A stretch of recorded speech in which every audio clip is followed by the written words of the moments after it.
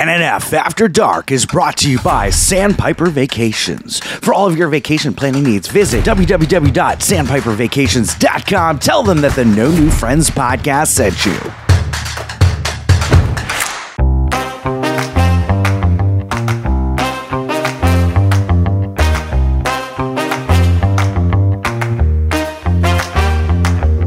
Welcome to NNF After Dark. Chris is going to take you through the highlights of the previous episode and maybe even say some bad words, plus celebrity interviews and much, much more. And now, here he is, the scumbag reselling hoarder himself, Chris Yob. Welcome back to another amazing episode of the No New Friends podcast, After Dark Edition. I am your host this evening. My name is Nick, also known as the Emotional Sport Guy. And um, Chris is on a cruise right now. He um, is wheeling himself around with his broken. I don't even know what he broke anymore. I, I forgot. I tuned it out. Achilles or something. I'm pretty Uh, yeah, it's his penis. So he's- his peanut. So he's on a Royal Caribbean cruise right now, booked directly through Sandpiper Vacations as we are recording in the Sandpiper Vacation studio. I am uh, here tonight with my lovely co-host Scott from the No New Friends podcast. Hey, girl. well. and we have two special guests on tonight. Um, the sophisticated gentleman himself. Hello. Good evening, y'all. And then we have another sophisticated gentleman because I think you're pretty amazing as well too. Ryan, classic I Ryan. appreciate that. Nobody's ever called me sophisticated in my life. And nobody will ever call you Never sophisticated again.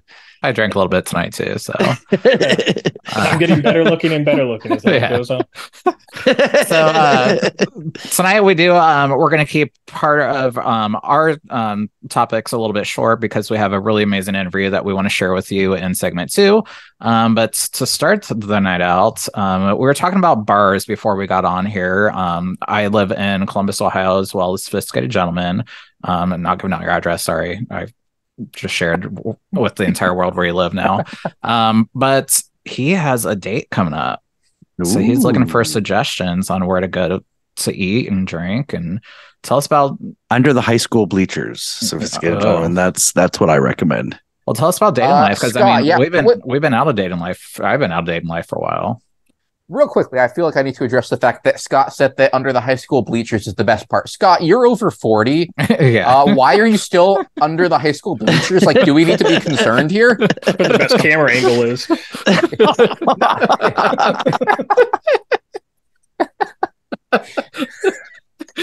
I guess I set myself up for that one, didn't I? Ugh. You, Oh. you really did. and this is Um, why and this is why we're ranked number three podcast because we have a to catch a predator on here right now.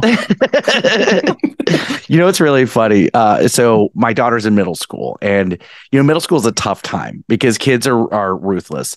And I were, I, I guess they were calling her a uh, pick me girl, pick me girl. And she's like, you know what that means, right? And I'm like, well, first of all, no, I don't even know what slay means. Wait, you don't know what a pick me girl is? No, I don't know what that is. No. Wait, what? Wait, y'all don't know? No, We're old. well, I do old. now. I do now. She educated pi- me. yeah, a pick me girl is a girl that's obsessed with being liked by the boys. She pretends to be like she's not like one of the other girls so that the boys like her. Exactly, exactly. And she's like, I'm not a pick me girl. I'm not a pick me girl. And I'm like, well, okay, sweetheart. I was like, um, are you flirting with the with the boys? And she's like, no. She's like, I don't like any any boy a- a- any of the boys. And I was like, okay. And I was like, but here's the thing. I said, middle schoolers are assholes. Um, don't pay attention to them, and don't worry about it. I'm gonna get to my point. I'm gonna land this plane. So, I said, Abby, I've said, you've heard my podcast. Everybody makes fun of me and I'm just fine. I laugh at it. She goes, Yeah, but that's for content. That's not really that true. And I said, eh, You'd be surprised. She's, but you all are friends. I'm trying to teach her, like, look, middle schoolers are assholes. Don't let it bother you. You landed that Spirit Airlines very well. So back to the sophisticated gentleman. Thank you, thank you. This is my um I guess now it's my bi-monthly therapy session. that's free. I got no, I, I do pay for it. I, I pay as Patreon. So yes, you do. Uh, But yeah, so uh, for folks who may or may not recall, I talked about the difficulties of online dating the last time I was on After Dark. And Chris and I were specifically chatting about the Hinge dating app. So I now have a date planned through that. Ooh. And since I was the one who suggested the date, but I don't know a ton of bars in the area, I was talking to Nick to see if he had any suggestions for good bars to go to. So so is this a night date or a day date? um, it'll be an evening date. Um, Okay. I actually, I'm so sorry, Scott. I don't think I'll be here for the live episode next week. As a result, Uh, Why Whoa, would whoa, you whoa, whoa, schedule whoa. this on a Wednesday? Whoa, yeah. You already have Uh, plans that night. Uh, I don't. I mean, I'm not going to be on the episode. Eh, Well, she needs to know what are you that married? So you're just not going to listen? she needs yeah. she needs to know ahead of time that you already have a prior engagement every single Wednesday. Yes. Or oh, I've got a better idea. You know what? You go on your date on Wednesday. Live Okay. Oh, I'm gonna God. say yeah. I'm gonna say whoa. That's even Ryan. You're a genius. That's a better idea. I was just gonna say make sure you watch the live with her on the date. So you know Mm. it's it's like a bar and entertainment as well. And then she'll get turned on to the podcast, become a Patreon, and then we'll do Mrs. Sophisticated Gentleman, uh, or the the sophisticated. You you've my- made way too many leaps there, sir, for a man of your stature. she, she could be the sophisticated woman. I love this I don't. idea. I don't. It, dude, I haven't even been on the first date yet. That's okay. Listen, this It's- was my problem in online dating is I would I would get a response to a wink or an email back and I was already planning our wedding. I was that guy. That's Mhm. not good. That's horrible for your No, mental I'm health. psychotic. How'd you I don't get like the way you said that. But- That's a clip that we're going to use. But look look at the house that he lives in though. So Exactly. I mean it, It worked out well for him. Ryan, I told my wife, I told my wife Wait, that- wait. Were you saying Ryan or SG? Ryan, Ryan, Ryan. Okay, cool. Um, I'm- told my wife on our uh we were dating for two weeks. I said, I'm gonna wife you up one of these days. Oh my God, you're out of your mind. Mm-hmm. And she stuck around? Yeah, she almost broke up with me that night. Yeah, I don't blame her. I feel like breaking up with you, and we're not even dating. so okay uh sophisticated gentleman this is your first date with her It is, yes. Okay. Or That's will it. be. That's interesting that you're going straight to a bar like no date no- like no you like want- coffee uh, day Were you looking for more of a restaurant type feel? What type of what's no, your so I, idea of a it good first I know? Scott's dabbled a little bit in online dating. Nick and Ryan, have you either of y'all used online dating before? Go ahead. Nick. ish, I guess. I don't know. It wasn't really as big. We got together in 2009, so I got you. I got you. I have not. So I think the tr- the traditional first date is just grabbing drinks, something that's casual that you can chat over. Um, at least that I've seen for a lot of online dating. That's what I've done in the past. That's worked perfectly well Hmm. for me. Um, because if it's a restaurant, you're stuck there. If it goes poorly, you're Right. stuck there for mhm. who knows how long. Um, coffee dates are especially tricky, especially because you know, as somebody who has a job, usually I'm looking to Yeah. date folks who have jobs, and so you don't really true. want to be That's up and on caffeine. I've never had coffee before. I don't know that a first date's a great time for that. Don't do So no no no no I mean, So- Mary's had a lot of first dates with her barista at Starbucks, so it. so which uh, might not even exist. After right, last right. week's episode, but yes it's just the cafeteria lady at the uh, mental hospital so sg here's um so y- you i did one coffee day date because i always i what i was trying to do is i was trying to set myself aside from everybody else all the other guys on online dating by making the women extremely comfortable like hey if you want to bring a friend uh to this to this day date or you know or date or whatever so that you're more comfortable that's fine with me um and if we get all get drunk enough and uh, end up hooking up that's fine with me too no but uh We knew what you were doing. no wait And no, it didn't that was- work. That wasn't the reason i you know i just wanted them to feel ultra comfortable Oh, absolutely. That's why you always plan a first date in a public location, which I think a bar is a good place for that because there's yeah always plenty of other people in a bar. Like even if it's the town drunk, at least the town drunk is there, you know. That's Right, right, somebody right. else. There's a bartender. So I I did uh I did have a day date once and during this day date she's telling me that you know she doesn't um what was it either doesn't have it doesn't have a car or whatever because she and her ex uh, were under investigation for inter uh, for um, uh, insurance fraud because her car caught on fire, and then was convicted of insurance fraud because they did in fact light their car on fire. for And if you need a lawyer, go to Kaufman and Lind. and and I was like, oh, I was like thinking to myself, I'm like, why would you tell me that on a first date? Make me fall in love with you first, so I'm in too deep and then can't run away.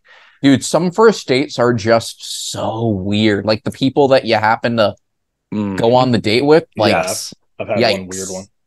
what was yours, Ryan? All right. So I've been with my wife for off and on for like 20 years, but this is not her. So I, I meet a girl on it might have been MySpace. It was that long ago. And we go on a date. Wait, what's that? We're, we're Yeah. old. We're old. Wait, And what, we what go is to- MySpace? Is that like WhatsApp?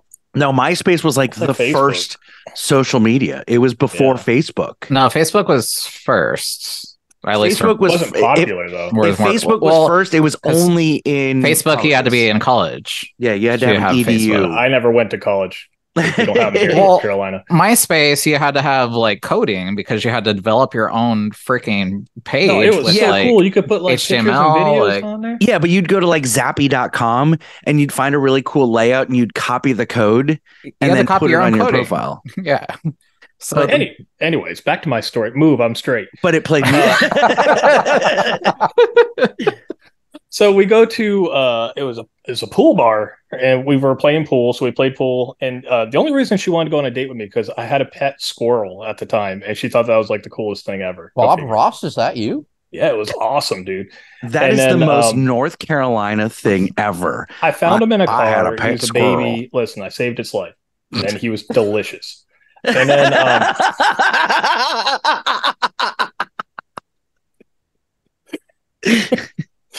No, anyways, after we were playing pool for a while, she's like, Hey, I got a couple friends over at this bar. Do you want to go over there? I'm like, Okay, we'll go over to this bar. So we're hanging out. It's a restaurant and bar.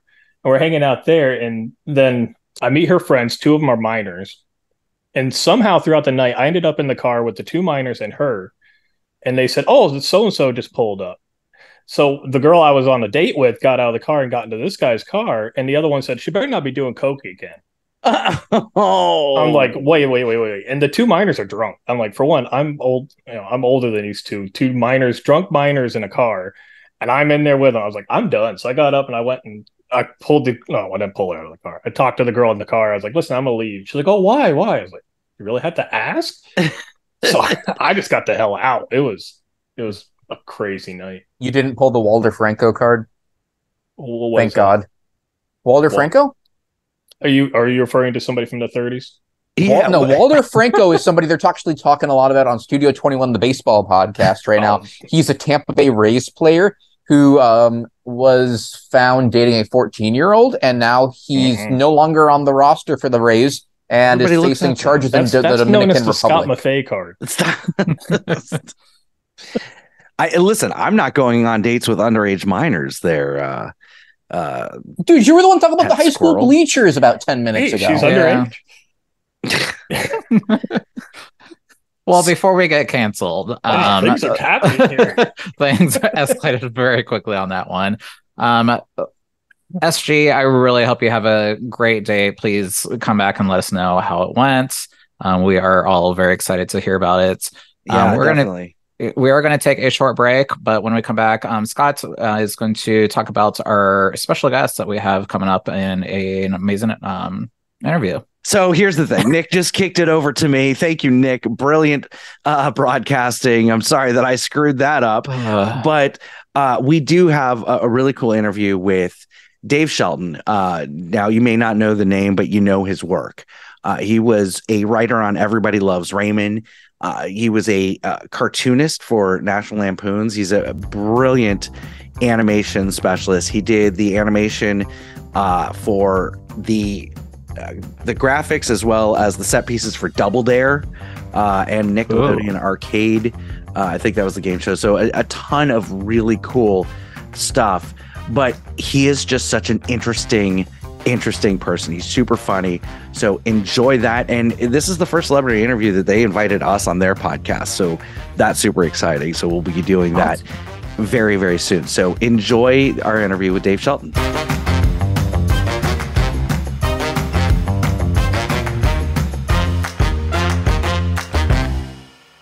There are three things that I hate in life taxes, nausea, and booking vacations. The first two I'm stuck with, but for the third, I use Sandpiper Vacations. Sandpiper Vacations is a small business that is LGBTQ plus owned and operated with travel advisors all over the country. Whether it's a cruise, a trip to a theme park, or an all-inclusive resort, Sandpiper has you covered.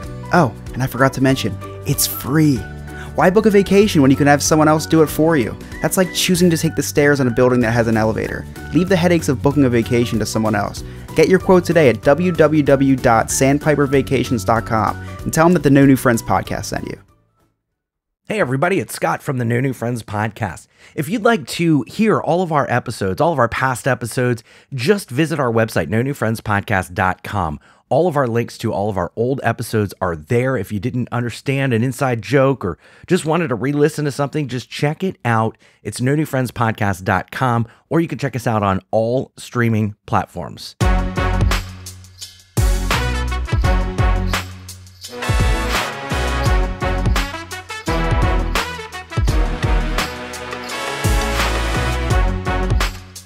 Welcome back to the No New Friends podcast. We've got another special guest, and and this guy's electric. You're gonna love him.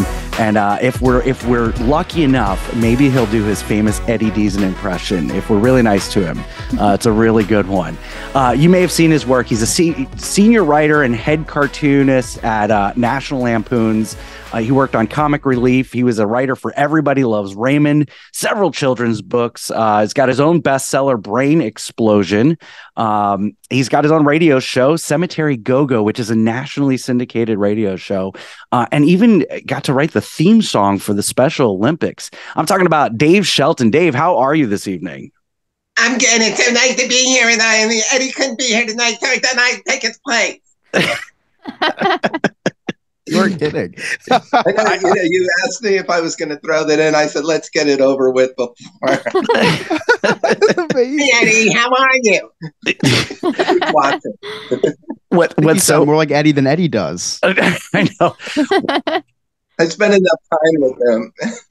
Yeah, what's so funny, Chris? I got to be on the phone with both him and Eddie, and Dave was doing his Eddie impression, and it was perfect. Just oh, you're such a great guy, you know, it- because Eddie is very complimentary, and Dave did the. It was perfect. That's Um, amazing. but yeah, I've, I've spent a lot of time with Eddie. So That's all. You guys just did a signing together, right?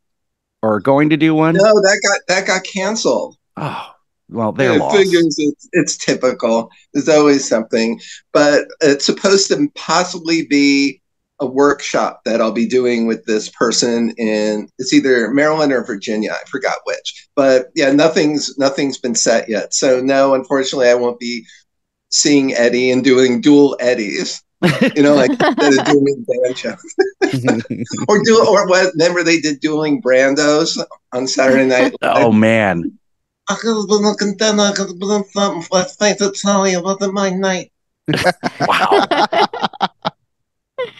So, Dave, you've got this impressive like voiceover career, uh, writing, producing. Where did everything start for you? Uh, I think it was at birth. Uh,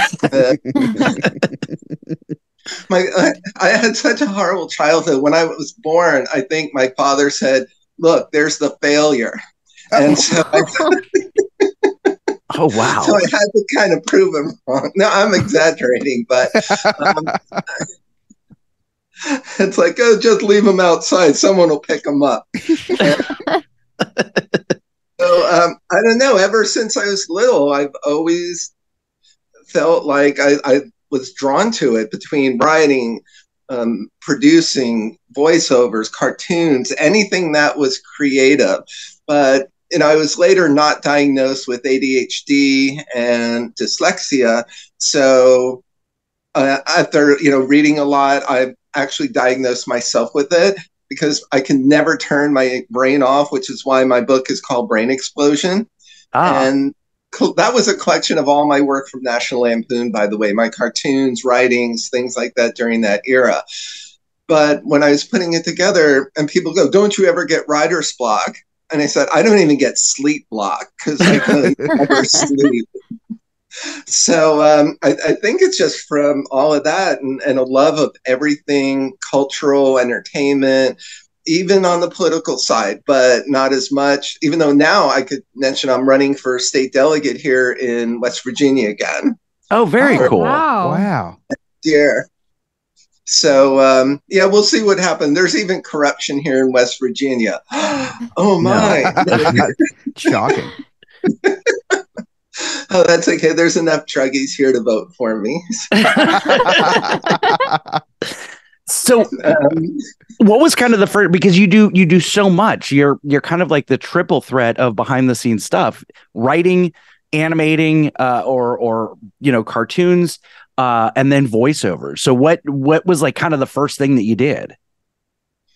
Uh, well, just to finish with that thought, uh, I- the reason I actually do a lot of it is because you can get out of work pretty fast in our industry, and then there could be a big void of when your next job is.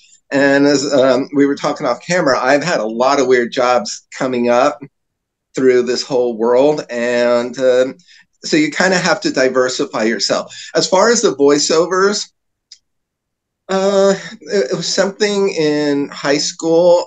I was the announcer for all our basketball games. Because believe it or not, I did play sports. Um, I actually got to coach basketball with Mike Dunleavy of the Lakers Oh my gosh. and Jim Harrick at UCLA. Yeah, you wouldn't think to look at me, right? But in high school, the jocks couldn't beat me up because I was one of them, and they wouldn't beat me up because, and the nerds accepted me because I was like them too, and I was in the AV club. So yeah, so during basketball, I got to announce, and what was funny is I would always make up voices while I was doing the announcing. And the athletic director was such a square in, in northern New Jersey. He would come over. Most say, New Jerseyans are squares. We're used to it. What's that? I said most New Jerseyans are squares. We're we're used to it. Eh. And, well, I wrote a song called "The Jersey Cool Is Gone," and I'm looking for a group now to record it. And I, I even sent it to Southside Johnny, if you remember him. He he was discovered by Bruce Springsteen, and he had a couple of hits and stuff back in the '80s. Um, so I would make up these voices, and then the athletic director would walk over to the broadcast table, and he'd go, "What the hell are you doing?" And like during a, a timeout, and I say, "What?" And he goes, "Just announce the friggin' game." And I, said, "That's no fun."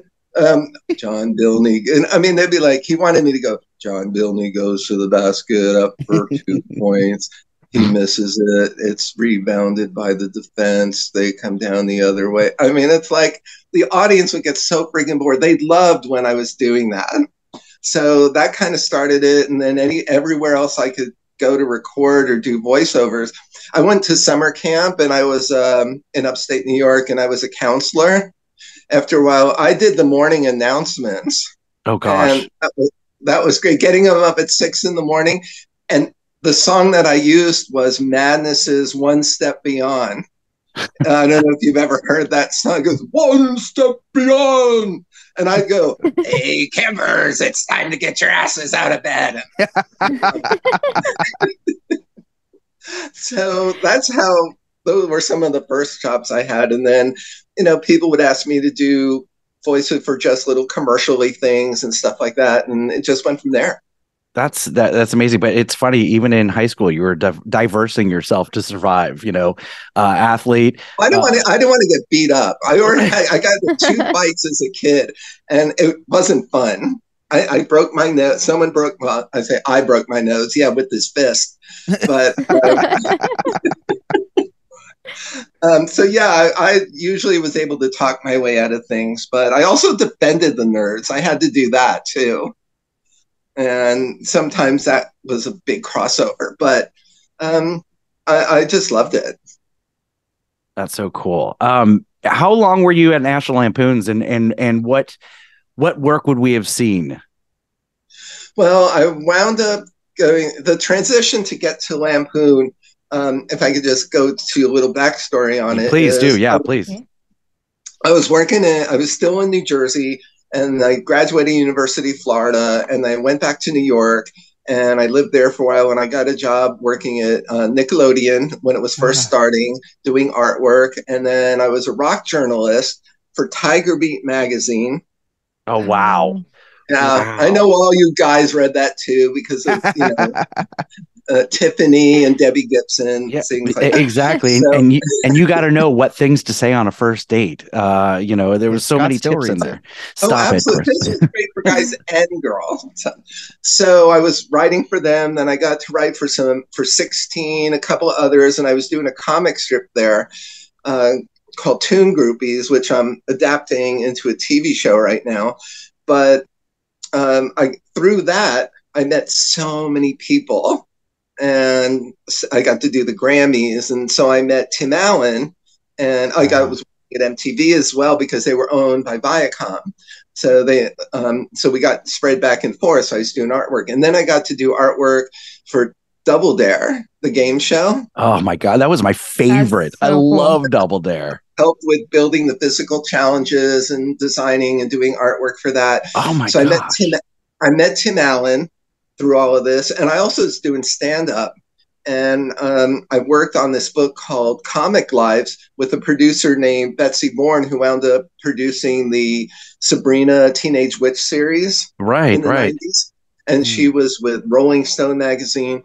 Um, so Tim asked me to work on something, and then Robert Wuhl from Batman and Arliss, and uh, then he asked me to work on his HBO special. So that was coming to California. So I said, you know what? I'm ready to go to California. I talk like a valley guy. I look like a valley guy. So why don't I live in the valley? So I moved there, and then through them, I met the people at Lampoon. And coincidentally enough, is that was my dream job. When I was in, at the University of Florida, I pledged a fraternity, and it was when Animal House came out. Oh yes. I said to myself, if I am ever going to make it in this freaking industry, it's going to be with National Lampoon. I don't care when or how. So, you know, as serendipity had it, I got to meet the guys at Lampoon in LA and they loved my stuff and, you know, the weirdness that I had. And I got hired and I started working with them in like 91 and I worked there until 99 when they sold the company. Wow. Wow. Did did you work on any of the the film animations? So there's that whole cartoon or any of the sequence for live Christmas action Vacation. films. Well, they Yeah. didn't back in the '90s. They it was a weird transition for Lampoon. Uh, the the best thing I got to do was work with Jamie Kennedy because he actually worked with us at Lampoon before he got Scream and Three Kings, Oh and wow. he was you know a struggling actor. He was still doing stand up. And although I think it's gotten so crazy, I don't know if people want him to do stand up. They get scared of him now if you've seen his more recent performances. And um, so he was great to work with, and we got along great. We became really good friends. So um, I just started doing a lot of the stuff for the magazine and then products.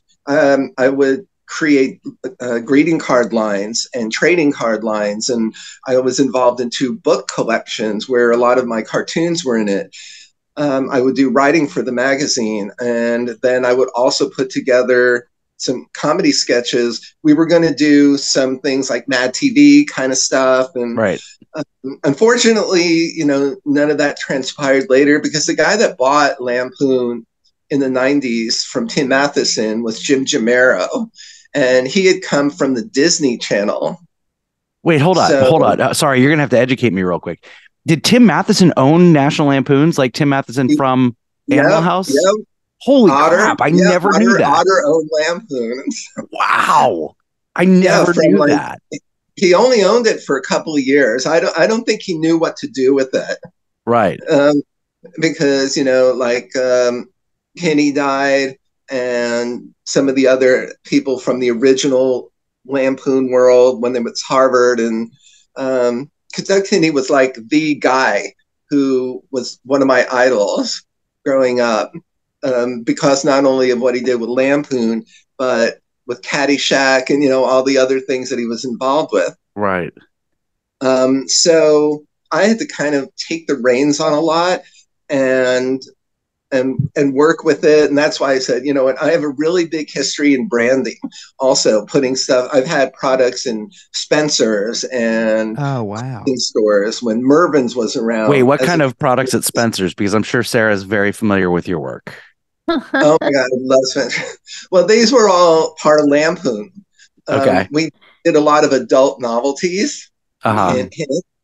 As you See, probably Sarah, you're probably very familiar with his work. Re- Remember in Animal House when Otter had that doctor's bag and he's there at the um, at the trial Yes. and he point and he kind of taps it as he's pointing to everybody. Yes. You don't know what was in that, but you do, and that was the kind of stuff that we also put out. Okay. I'm so demented. I'm so politically incorrect. It's great. Oh, it's fine. Our favorite kind of people. Right? Fuck So- yeah. Did I hear correctly that you that you worked for Disney also? You did uh animation or or cartoons for Disney? I did cartoons for Disney for a little while. It was more of an assignment. Okay. I was hired to write, I mean, to draw penciling for the TV version of 101 Dalmatians. Okay. Oh, cool. And I was assigned to the poodles. You know, the ones that are there, like the obnoxious poodles. Right. So awesome. yeah, I had to do penciling for that. And that was when it was still two dimensional. They hadn't gone a lot to CGI yet. Pixar Sure. was just kind of coming into its own on it. Um, and I love 2D. I love drawing. So for me, that was such a great job. And then from That's there, awesome. I got asked to work for uh, Klasky Csupo, the ones that did Rugrats. Oh, wow. Nice. Oh, One of my favorites. So, so I got to do drawing for them as well. That is so cool. That was fun. Okay, got to interrupt here real quick because it's not going to make much sense the transition. Uh, but we did talk to him a little bit about his appearance on the People's Court. Now, he has asked me to remove that uh, portion from the episode in fear of any type of retaliation from uh, the person that he was talking about. So you're going to hear his transition from Disney to him calling people uh, in Hollywood, some people in Hollywood, dickwads. So I just wanted to bring context to the editing job because it's not going to make much sense. Now, if you're very confused and you're like, man, I really wish I would have seen that story, let this be another lesson, another learning opportunity for you. You're going to want to join our clubhouse, become a Patreon member for as low as $2 per month, and you can watch us as we, we record these things live. And also, I put the full unedited video in Patreon so you can watch it.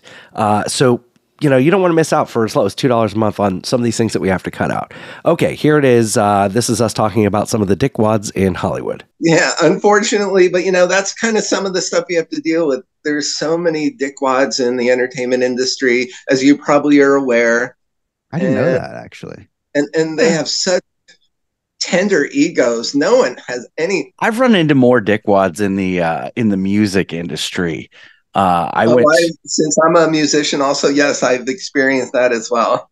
All right. So my favorite band is the Beach Boys. Favorite band of all time. Love the Beach Boys. And oh wow! they're they're way past their prime, clearly.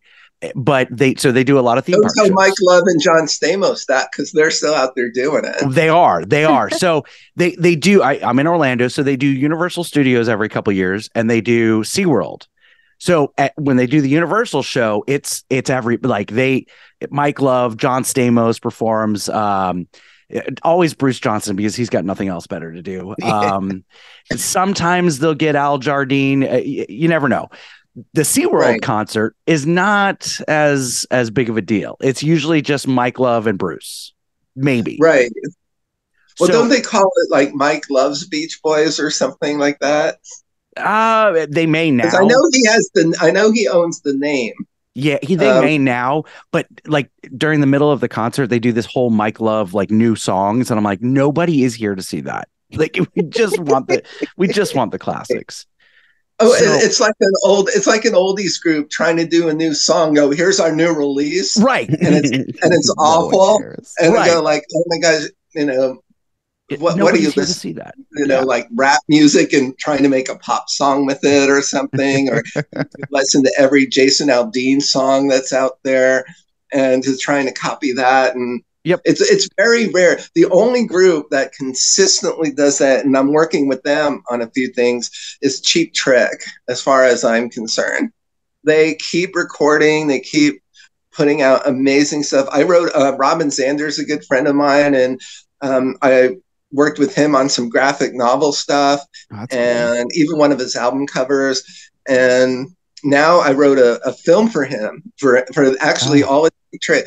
It's um, Jamie Kennedy, Scott Schwartz from Christmas Story, Oh wow. and cheap and Cheap Trick, and it, it's really it's it's like Dickie Roberts meets Detroit Rock City. oh cool. That's it's very really cool. bizarre. wow. It's called Schwartzy. Schwartzy. it's, it's about a former child star who's Scott, and he when he grows up he becomes a deadbeat, of course, um, kind of like half the child stars. And, but then he become he gets a um, a wire that he inherited this huge estate of like billions of dollars from a fan of his who passed away, and he goes to collect, and then the family of the guy um, tries to kidnap him and get him to sign over the estate to them. And they're those typical uppity kind of um, Kardashian kind of families. And um, and his best friend is Jamie Kennedy, who's a burnt out rock star. Okay. And when he has the launch party, he invites Cheap Trick to play at the party. And when he's kidnapped, Cheap Trick and Jamie all go to find him. So they're actually in the movie as characters. That's Oh, that's ridiculous. Sounds amazing. It's really fun. Chris or Sarah, before I hog up all the time, any questions for Dave Shelton? Dave, Oh. you've been working with a lot of different celebrity actors and actresses on set. When you're ever in these close quarters with them, do you remember one or maybe multiple instances where it could either be good or bad? The stench or good smell from one of these actors or actresses. who's so basically who's the smelliest actor or actress you worked with? Physically or emotionally? Oh, that's a that's a good question. It's a new Actually- layer we haven't reached. Because some of them go hand in hand. I could tell you one of the best ones. okay. Um, well, a few. One is Jennette McCurdy. really? Yeah, um, I directed her in a pilot back in the early 2000s before she got iCarly. Uh-huh. and she was one of the sweetest, nicest people. And I know I just finished reading her autobiography. I would, I would, I- I'm Mhm. glad my That- mom's dead or something like that. Yeah, it is. I I knew her pretty well and her mom, but I did not know the extent of what her personal life was like. Wow. But but when we worked together, she was one of the sweetest, nicest people. Um, and she didn't smell at all. She like didn't have a bad stench about her at all. Um, Paul Sorvino, I worked with him on a show in the 80s. uh-huh. And then a, a bunch of this was in New York. And all he did was talk about himself and how great he was Really? and he would sing in the middle of a take. He would sing opera, like just break out into it. And I was like, oh, and I was just starting out. I, I was like in the art department. And I'm just, oh my gosh, this guy is so full of himself. And, you know, I know it's a Jersey thing, but he was, he was Chris Christie before Chris Christie is the best way I can, can I can think of it. And then a bunch of years later, um, probably before I moved out, I'm saying maybe about eight years ago, I was uh, living in Sherman Oaks, and I used to jog around the neighborhood. In the Studio City, there's a gas station on Coldwater Canyon, and I was just jogging by. He comes pulling out of a gas station like there's some gangbanger following him, and he's in a Mercedes. He practically clips me. and he turns the corner, and there's a light there. Moorpark is the cross street. And I just like run up in the middle of the intersection and go, Hey, you like almost ran me over. He opens, he doesn't want to open the window. He thinks I'm like some sort of, you know, killer or something. And then I said, Come on. And said, And by the way, I worked with you in the 80s. So he finally opens the window before the light changes and he says, What? What? I said, You almost ran me over there. And he said, I don't care. Get out of my way. I'm in a hurry. oh my god. The light, then the light changes, and um, and he goes, and I'm stuck with traffic, and I'm like trying to dodge it. Um, like Arnold, just going in and out of traffic. And fortunately, I was able to make it. But oh my gosh, it was like awful. So Wow. yeah, he, he's one to not have a good time with. Um, then there's Tiny Lister. Remember him? Tiny Lister. Tiny Lister was the president in The Fifth Yes. Element, and he was in the Friday movies, Yep. and he was one of the guys with uh, Doctor Evil in jail. Uh huh. Yes, I remember. I, I I recognize him instantly. Yeah. Well, anyway, I had written a film actually that wound up being stolen and released by Lionsgate, a dog movie I wrote with Irwin Keyes, who you might remember from House of a Thousand Corpses. He was the guy with the big head and Sid Haig at the beginning. Uh huh. and he was in the Jeffersons. I mean, he, he the Flintstones.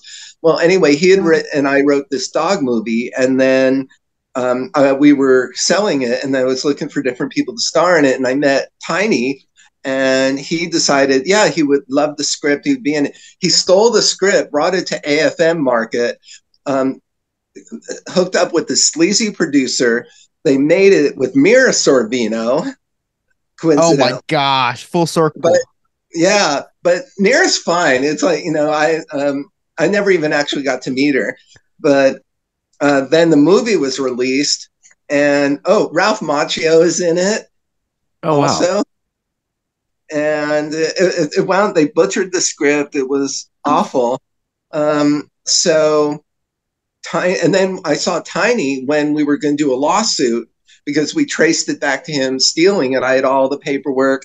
So I meet him at a party and I say, Hey, Tiny, you know, you stole my script. He says, Get the fuck out of my face. I don't care. I'm going to kill you. What? What? Oh Right my to my god. Wow. Face. And I said, Wow. Yeah, you and who bouncer that you're going to have. Like, I'm like this real guy, five eight. He's six eight. And you know he's looking at me, going, "I'm gonna kill you, man. You better not be around here no longer." Oh my god! Same, same thing happened with Snoop Dogg. I almost got attacked by him. Are you serious? Oh my god. I was I was at a party in Beverly Hills at a mansion, and it was of course a rap release party. And I was with my friend Larry B. Scott, who was Lamar in Revenge of the Nerds. Okay. Remember him? Hi, I'm Lamar. And so we're just hanging out, and he, you know, Larry knew I was a guitarist and musician. There was a piano there, and we were just kind of hanging out talking. So, and I remember the party distinctly because I was the only white guy outside of some of the executives there. I said, Are you sure it's cool for me to be here, Larry? And I'm going like in my nerdiest voice, Are you sure it's good for me to be here? Maybe I should go down to like Bette Midler's party or something. so um, so then he calls Snoop Dogg over, and of course he had his whatever he called it back then, posse crew. And he comes up and Larry goes, Hey, you know, this is Dave Shelton from Lampoon, Raymond, you know, you should get him to draw you pictures. He's a great cartoonist. So, he, you know, he does his kind of bop that he always does.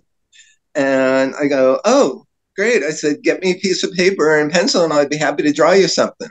Well, I guess that set him up. I guess you don't tell Snoop to do anything. so he gets into my face like this close, and he says, Get your own fucking paper and pencil. oh my god! Oh. And then I said, Well, I guess you're not getting a drawing then. And he didn't like that. so so he starts backing up, you know, with like the fingers. And then as he's doing that, I'm enveloped by his crew of these big guys. And Larry is like smaller than me. He's super skinny. He's trying to get in between us, go, it's cool, it's cool. Dave's cool. Don't worry about it. and um, fortunately, so I, I would always tell Larry, and I worked with him on a few things. I said, "You saved my life. Thank you. From my You life. saved me from Snoop Dogg's crew." and I, I had to get uh, later escorted. oh my So- god. Gosh. Oh. But you know what? I guess you know from being from Jersey, it's a we don't get scared of stuff. You know, no, like, it's a little alarming. How yeah, that yeah, we we speak our minds, and it's the truth. One thing that people in the industry can't handle is the truth. They can't handle the truth. So I New Jersey's the kryptonite of Hollywood. yeah. I, I, I do that with people when they get all in my face about things. And, you know, I've always been very independent when it comes to my work. I'm not one that's going to kiss up to get a job. Right. Um, even though it's probably cost me a few things, but I have to be truthful with myself because I would feel so miserable if I wasn't myself and I didn't stand up for myself. And I use I would do that with a lot of other people. And they would be like, "Oh, thank you, Dave, for doing that." The other thing is, it's like people don't will always come to me later and go, "Oh, we wish we had invested in your stuff," because they're always saying, Ah, like, "Oh, if if they want to do something, oh, we got to do it like this. We got to do it like that picture or that studio or that actor." And I go, "You know what?" And I'm a very astute judge of character and script and dialogue because that to me is the most important thing. So when they go off and copy like um, Fast and Furious, or they're going to do another Star Warsy type ripoff thing, mhm. um, they'll come back later and they'll go, I lost millions of dollars in that, and you were right. Hmm. And I said, Well, my unemployment check appreciates that. Thank you for sharing. Yeah, I feel like now uh, they people should be taking you seriously. I mean, you've been compared to your writing has been compared to Ray Bradbury, uh, and your cartoon work to Charles Charles. Oh yeah, God, I've Charles had so many people say that. And in fact, some of my cartoon work is in the Charles Schulz Museum in Santa Rosa, Oh. California. Wow. That's so and then cool. some others are in the Hague Museum of Cartoons in Jersey. Oh, Although I'm, I forgot where it is, but it's there. Hmm. So um, yeah, that I'm I'm very proud of that. That's that's that's really neat, really neat. Um, so Bitchy the clown. Uh, tell us about Bitchy the clown. Oh, another one of my little offshoot love project. Well, being from Jersey and being very politically incorrect and being very vocal, um, I needed an alter ego. And because I was a clown in the circus, um, I was also a clown at ground round restaurants in high school was one of my jobs.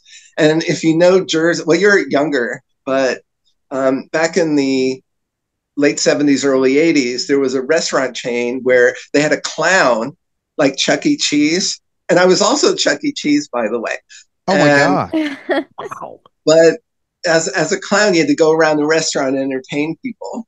So from there, when I was in college, one of my summer jobs was as a clown in the Clyde Beatty Cole Brothers Circus.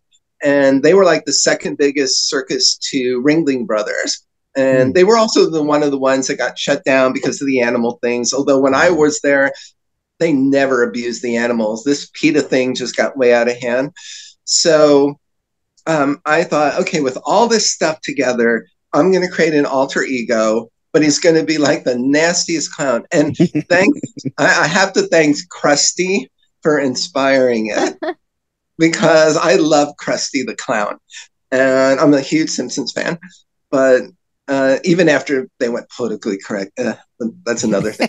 so I said, what is like one of the nastiest things you could say without using the word fuck? And I say bitch.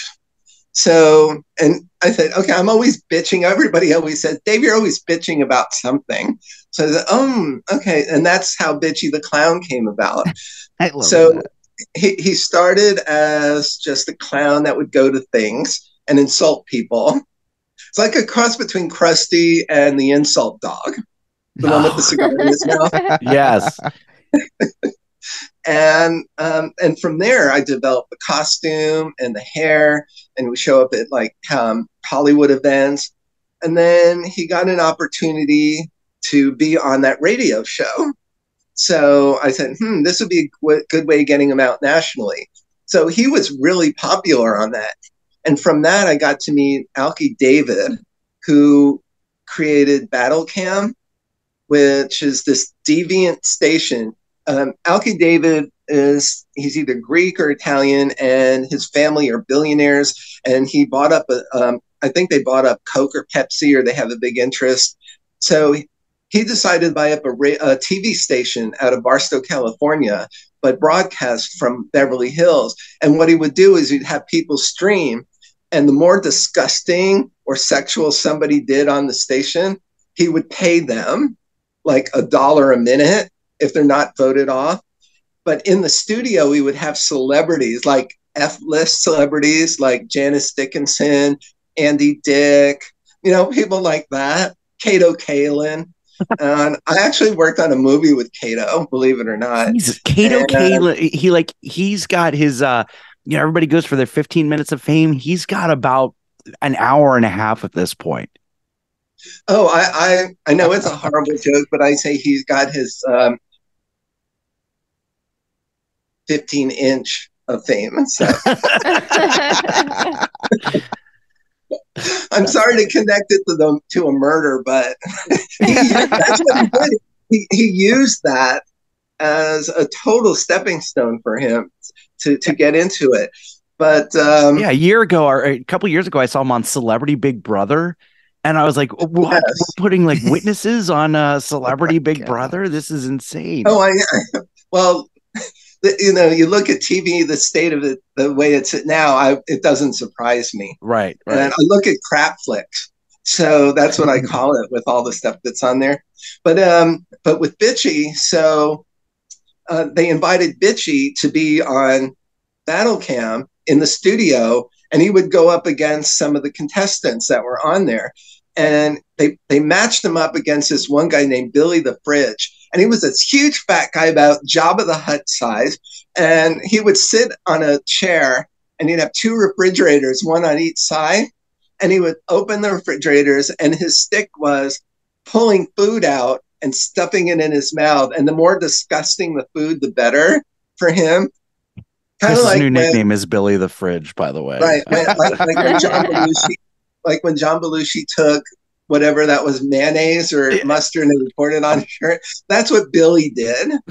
Oh my God. So god. he would try to throw insults at Bitchy, and then Bitchy would throw insults at him, and it became hugely popular. So the guy put all these clips together and made a movie, and he had a movie premiere in Hollywood at the Egyptian Theater, and he invited everybody that did these deviant things, like the sexual things. And they, we were all on the red carpet line, and I got to meet Billy in person, and I was dressed as Bitchy. So it was great. He had lost like 300 pounds by then too. It's Oh, like you wow. almost recognize him.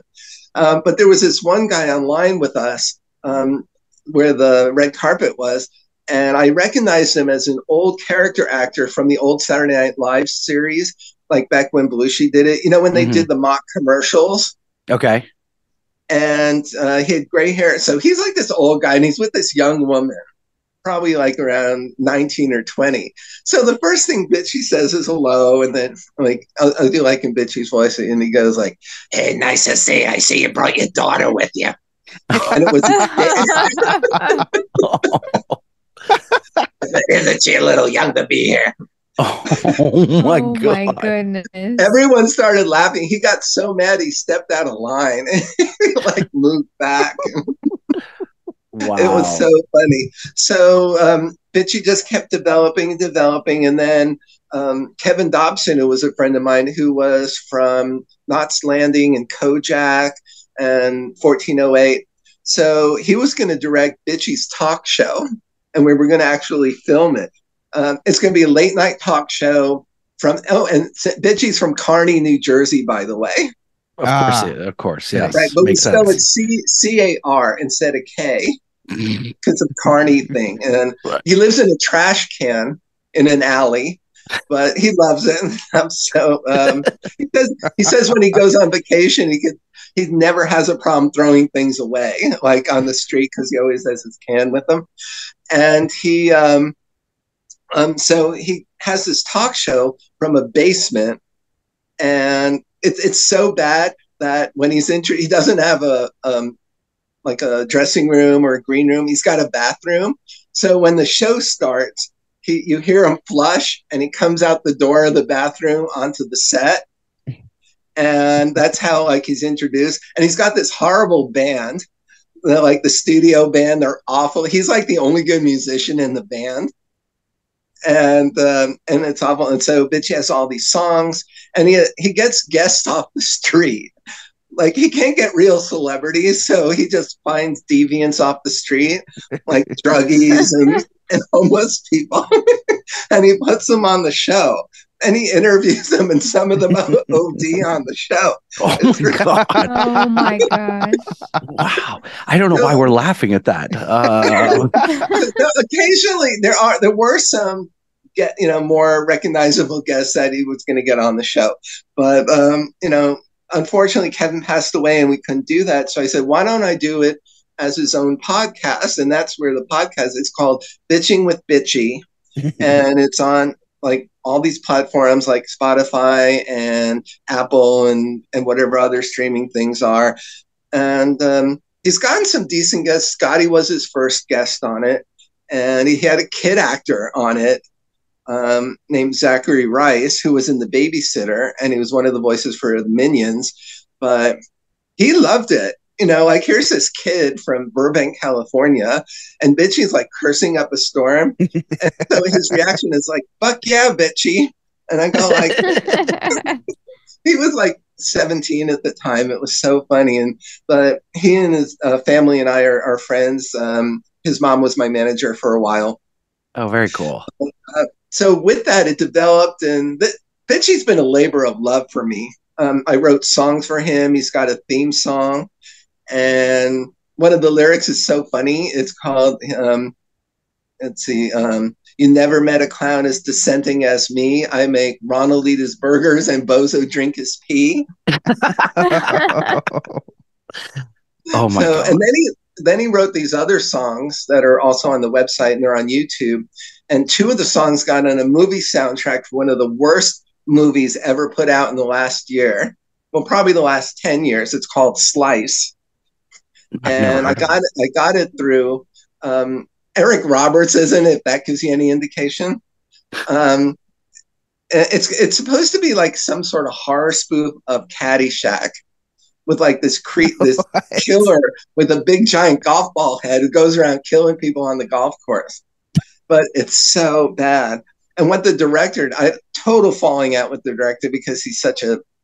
Um, I'm not even going to mention names, but um, I got it through.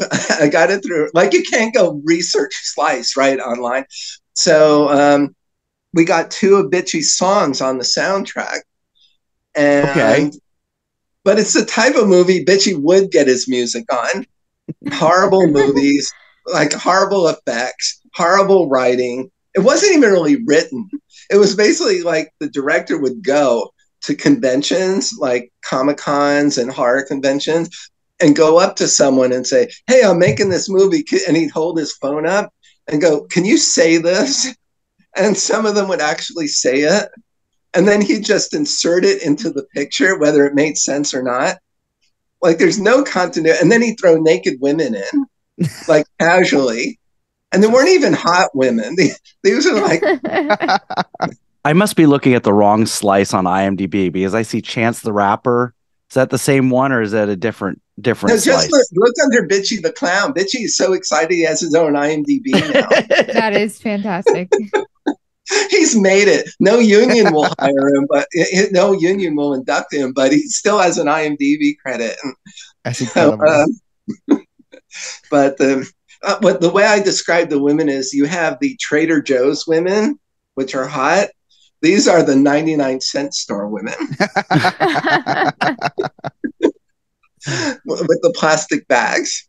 So, um, but those are, that's a kind of movie, and Bitchy loves it. And then he he got on Twitter, and he got thrown off of Instagram and Snapchat. I mean, he's been banned from all these other platforms, God. Facebook. Uh, but fortunately, Twitter, he's still there, but he Oh, gets good. suspended once every couple of weeks for getting people. To, he finds it a badge of honor. It's like this is my fifth time being suspended for a week, and he always comes back with like something really profound when he comes back. So with that, I said, you know what, Bitchy needs his own merchandise. So I created a cologne for Oh Bitchy god. and we're, we're releasing it now. People have been buying it. It's really, it's actually a really cool scent. My girlfriend and I uh, came up with the recipe for it, and it's called Trash. Oh, Mitzi the Cologne's goodness. Trash Cologne. And um, the slogan is if anyone asks, tell them you're covered in trash. And they love that. Oh my god. God. So we're, we're trying to, my agent is trying to get us a deal with some of the manufacturers and maybe, I think Spencer's would be a great place for it. So we're Yeah. working on there. Huh. I could see it, you know, mom and pop stores and Mexico. and oh, for sure. I could see, uh, One hundred you know, it's like I wanted to be the drug, the cologne for the drug cartels, like their their official cologne. The official scent of El Chapo. And then then I would tell Border Patrol about it, and they would know where to find them.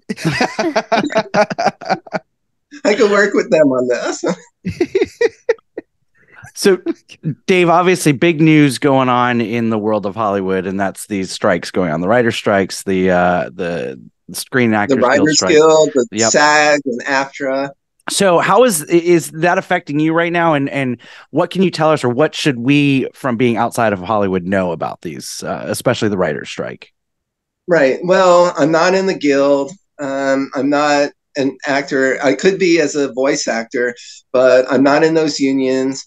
As I said, I've always kind of been on the peripheral of everything. I mean, I everything that I've gotten, all the the gigs that I've gotten, I've gotten pretty much on my own. The Mhm. Raymond thing, the Lampoon thing, um, all the other shows that I've worked on, the cartooning. Um, I've never really felt the need for being in the union for stuff like that. Um, and as I said, because people think of me as so weird anyway, and the stuff that I create is very off center. Although I do have some things that are very commercial. Um, I'm like the straight John Waters, is Okay. how some people would describe. so um, uh, the last writer strike, I think, was in 08. Um, uh, you know, I did help out on some of the strike lines with them, but a lot of my friends, especially the actors, because they weren't striking then, some of them never recovered. They, they would go on unemployment. They wouldn't be getting residuals for things anyway. So a lot of them gave up Hollywood. They had to leave and move out of California, and that bothered me. So I, I see the importance of unions, and I'm very um, positive pro union when it comes to things like that, defending them, the workers and the people who are out in the field.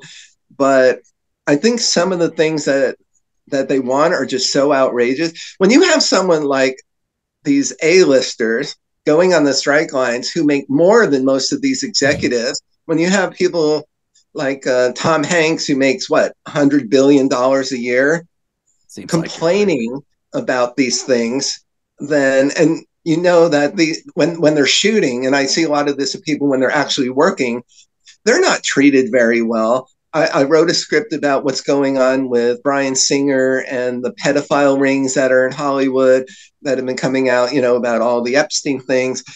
And they they never treat them well. The hypocrisy in hollywood is what gets me.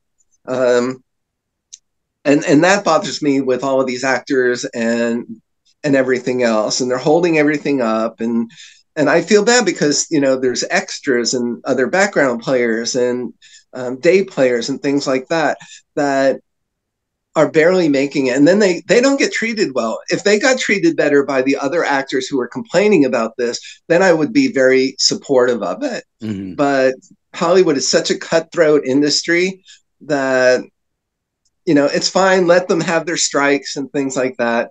I also say it's not affecting me because i'm not working on anything for them right now Sure. either. Right. so and the the projects that i am working on i'm generating my own funds. You know i'm getting it outside of the unions and outside of that part of studio hmm. system. So i, I don't worry about that. And but that's from a personal point of view. And i know a lot of people will be oh well you you should be supporting that i've got so many calls since the strike started about well you're going to come to california and stand on the strike lines with the guilds things like that um, now i'm a member of the west virginia filmmakers guild and that's fine for me. We're br- we're bringing product and productions to West Virginia, and you know what? Non so many things are being shot non-union, and we'll we'll get a SAG waiver for something if if I'm producing something out here.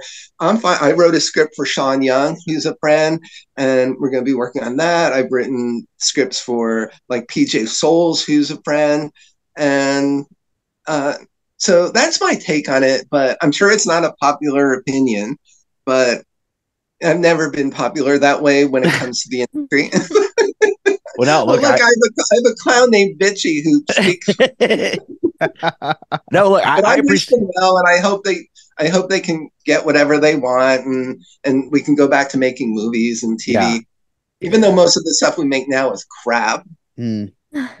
You're not wrong. Look, I, I appreciate the honesty, and it's and it's it's uh you know for us, we're on the outside of this looking in, so uh it's always interesting to get different perspectives. Uh, you know, either Well, way. So, you know, radio is the same thing. You look at radio unions and stuff, and podcasts are now like, you know, you can do a podcast and get an IMDb credit now. Mhm. So they, they've opened up to that. You can get uh, podcasts can win um, certain Emmys and uh, radio awards and things like that. So podcasts have become like the new FM radio. Yeah. Well, that's our that's the goal uh for us, you know. Um all right, I got some rapid fire questions for you and then we'll let you go. Uh okay, so you've been you've Don't let around me go. I don't have anything else to do. so you you've been on film sets and all that. Uh I'm a I'm a I love food. So this is definitely a food question. What are your must-haves on the craft services table? oh my god! It used to be everything, Okay. but when when I started thinking more about my health as I was getting older, even though I was always kind of into it, uh, the first would be the finger sandwiches. Then it would be the fruit tray. Then it would be the veggie tray. Then it would be whatever drinks were there. And then it would be, sa- you know, then it would be the dessert area. yeah. You know, I was never into like they would always have the granola crunches and the Quaker oats bars No, no, and no, things no. like that. And uh, I was It's more into that other stuff. But if if there was a brownie, I would definitely go for that. And some of the sets I've worked on, they had ice cream bars, so I would Huh. definitely go there. Gotcha. Sarah usually goes for the brownies at our craft services table as well, but you know, as long as it's laced with something, right, Sarah? I haven't heard Yeah. from her. I want I want Sarah to say stuff.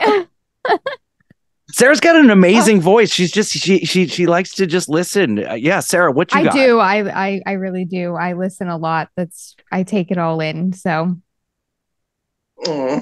So we're gonna put you on the spot. You got to come up with something. I know. Come up with something. What? Say Like right now. something? I, yeah, say. I, You know, Oh no, you- I'm even worse on the remind me of spot. Honestly. Bullock, by the way. oh, What? he said he reminds you of. Sa- uh, You remind him of Sandra Bullock. Do Yeah, you know she- I've I've gotten that gorgeous. so much in my life that it's crazy because I've never seen it, but I I've gotten that since I was a kid. I think it's because your um your your humongous African American stepson. Yeah. Yeah, that's it. Yeah. Is that him in the back? Yeah, that's it.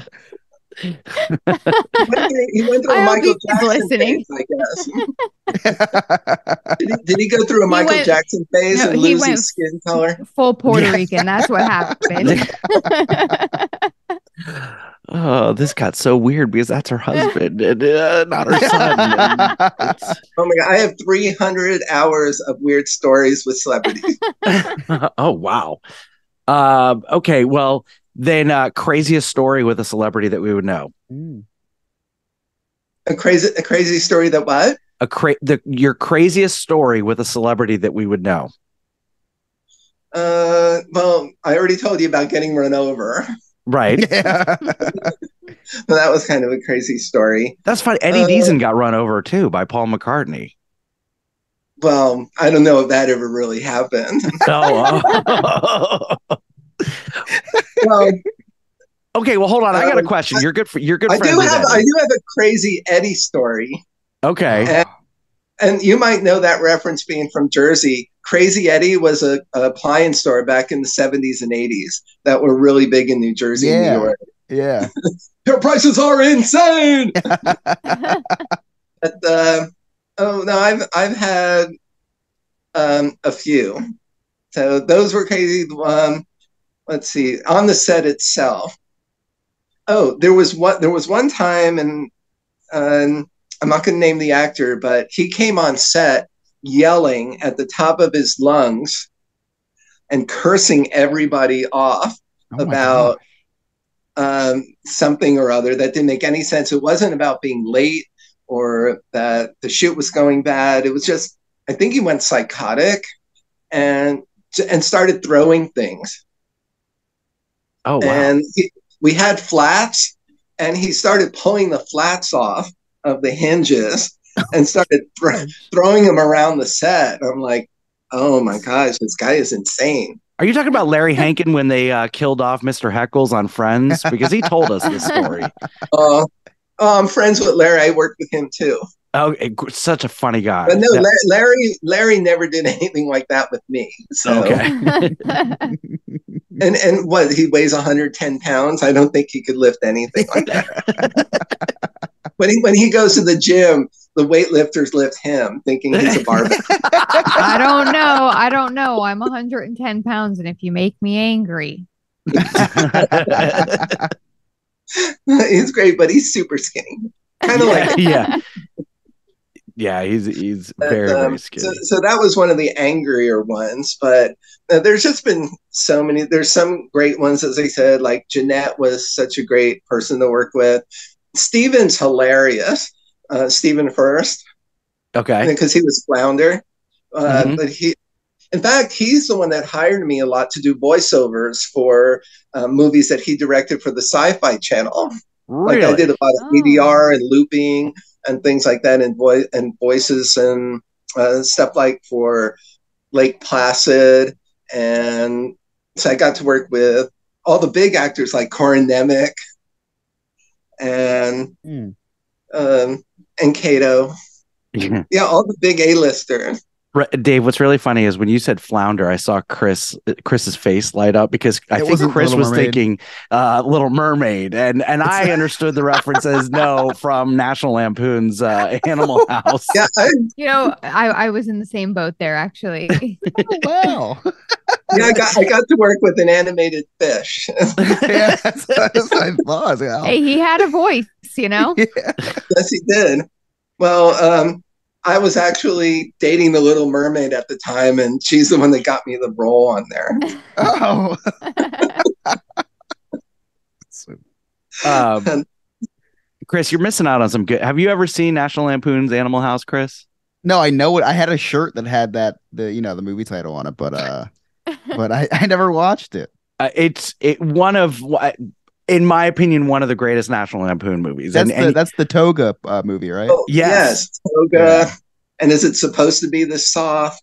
Um, yeah, I will put that on my list of movies to watch in the next two weeks when I'm down. that I and will- Goonies. watch- Please and watch both of those movies. And yeah, and a great 80s film no holds barred with uh with uh tony list uh what's his name tiny tiny lister and uh hulk hogan yes. I will never Yeah, look at him the same anymore. Well, if you're if you're gonna try to make me feel bad, yeah, go watch No Holds Barred. yeah, And then no that was a terrible movie that was a terrible movie and anything else that he's in, like, and The Fifth Element was a good movie, and I watched that before I had met him. So that's the other thing about the industry is, you know, and everyone always says it. It's like, what if you meet someone and they're not what you thought they were? Mm. Like people who are one way on camera and then are not that way in real life. And Right. sadly to say, there's a lot, but there's also people that are cool. One of the things that really drove me crazy when I first started and started working my way up is that these people cannot hold a freaking conversation without a script. I said, "What did you Ah. lose the ability to, im- you know, improvise, have a normal conversation without That's asking what your motivation is? You're you're at a coffee shop. You're getting fucking coffee. That's your motivation. like, you, you, do you want to know how do you ask for it? Give me a fucking cup of coffee, not like, oh, um, do I say it like, do I ask this way, or it's like, oh my god, it's just I'll do it for you. Hey, lady, this ass wants a cup of coffee. oh, which, which ass? There's a few of them in here. so that that always drove me crazy. Uh, Dave, what do you have coming up? Uh, what projects are you working on? Oh, well, as I said, there's Bitchy and the Cologne. We're working on that. I'm finishing up a new horror script. Um, the movie that I did with that I wrote for Sean Young, we're working on funding for that. All of it's about funding Oh, and sure. things, you know, Mm. everything that gets made. I'm working with my agent. I've got um, a new children's book called Horace Finds the Meeting, which my agent has now. So we're getting out. My children's book, Bag Boy and Sweet Slob, has been winning awards all over the place. And the second book is done. So we're trying to get to a different publisher on that. And let's see, what else? That trips Uh, me out that you've got children's books and Bitchy the Clown. It's uh No. you're all over the place. Well, that's why I can't get invited to a kids' party. But then when I get to another party, they're like, "Oh my gosh, you, you can't be here. You're so G-rated."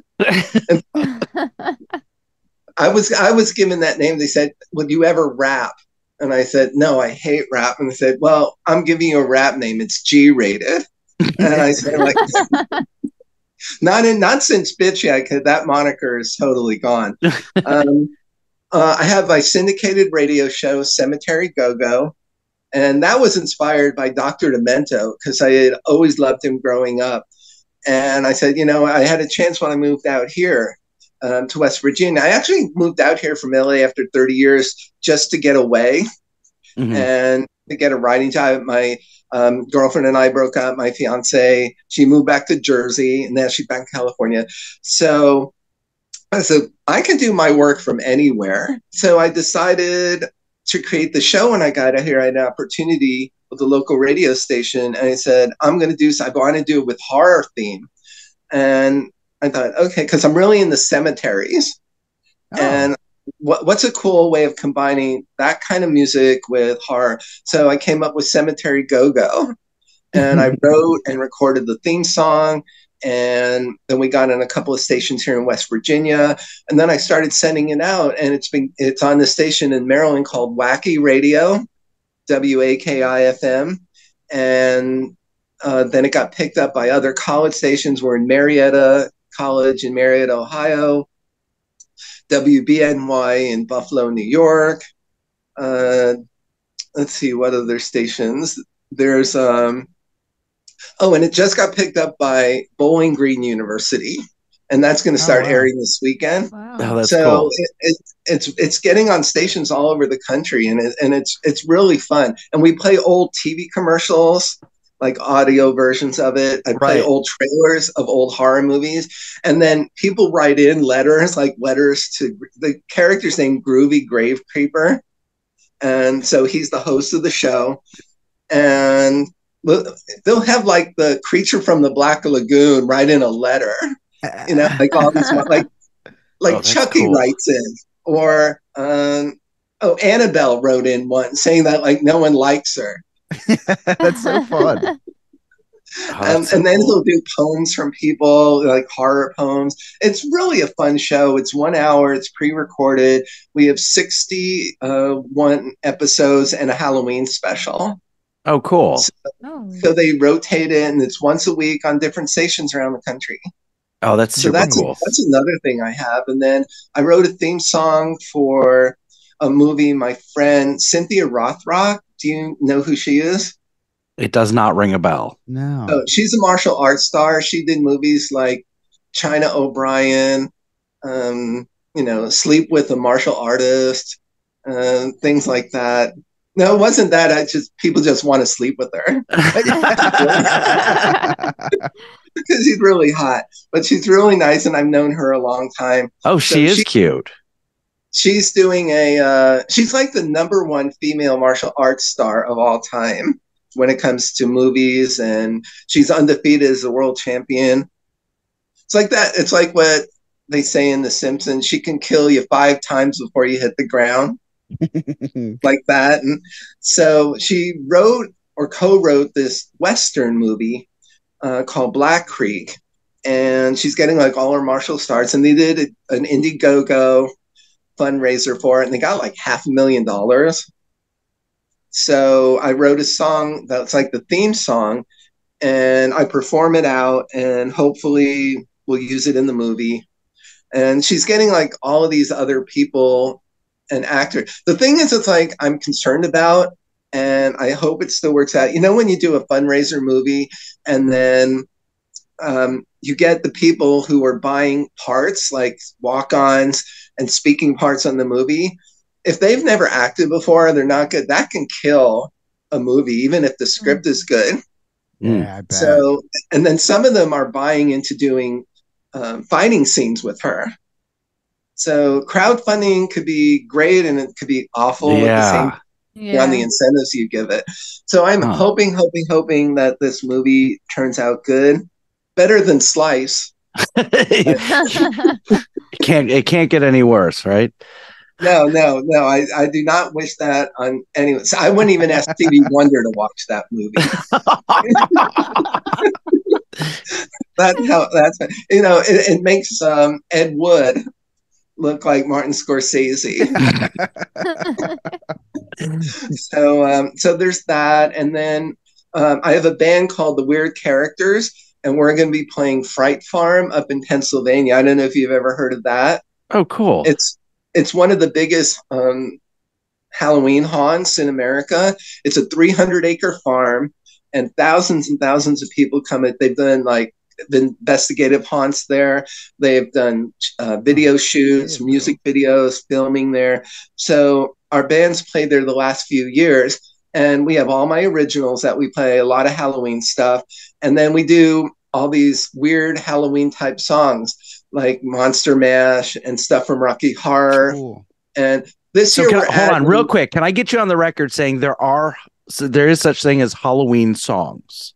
Yes, Okay, real, real Halloween songs. you And guys I got writ- that. This is from a professional in Hollywood, so please, we got to Yeah. remind Mary that there are Halloween There songs. are I- indeed. Well, Monster Mash is a Halloween song. I agree. And, I agree.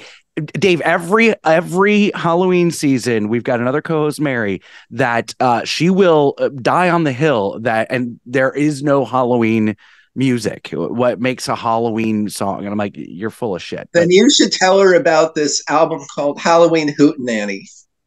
Halloween And Hootenannies. the Ghastly ones, who uh, they're one of my favorite sur- sort of um, horror surf bands. Um, they have a bunch of stuff on there. They are incredible. Um, and they do all these kind of ghastly, ghostly Halloween songs.